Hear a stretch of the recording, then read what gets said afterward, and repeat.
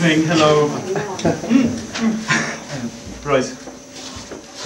Okay. Hello. My name. My name is Art Garfunkel. You might remember me. Uh, Paul Simon took my career, but uh, I'm now here, and I'm just trying to trying to reinvigorate it again. Um, I yes, I was on the on, on the plane on the way here, and uh, I was on. The, I, I heard I was on the way to Berlin, and so uh, on the plane, I, I, I, I, remembered a story about a about a woman from Sweden, and uh, actually that reminds me of. Hang on.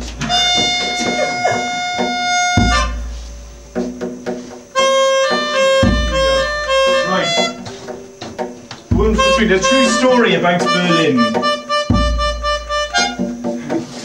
And I met these two, they were sat next to me in Ryanair, and we were very close together, so we got quite intimate. uh, right, okay, so this is my, my song about Berlin, which is going to get me back in the charts again, despite that bastard Paul Simon, and all of his success with world music, which, uh, if anyone can do world music, we can do it better. So, Nothing warms the cockles like a good dry stone wall. Over rolling dales and mountains tall. If Berlin had one across its town, they never would have pulled it down. Here comes the story. Drama, very Kill Bill. Um, in 1979, a woman from Sweden started to get unusual feelings.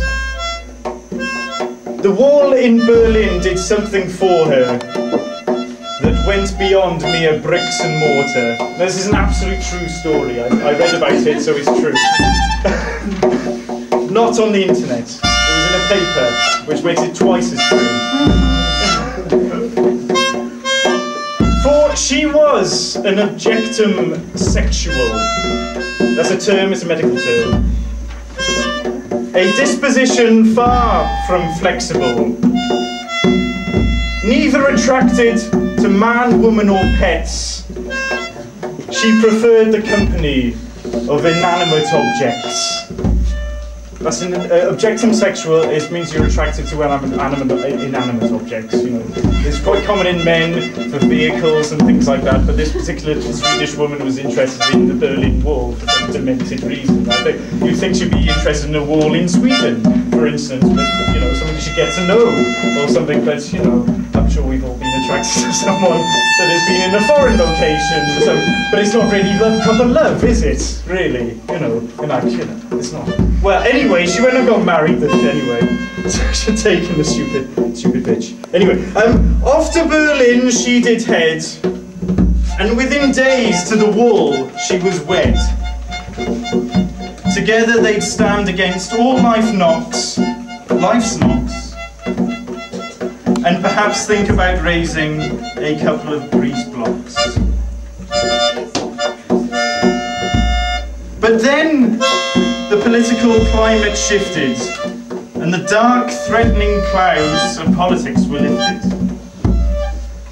Germans with bad hair and stonewashed jeans destroyed the wall they hated.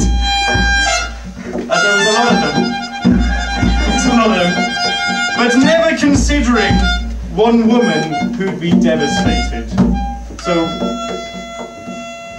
can we, can we this sadness? And uh, nothing warms the cockles like a good dry stone wall over rolling dales and mountains tall. If Berlin had one across its town, they never would have pulled it down. Thank you very much. I'm Mark Garfunkel.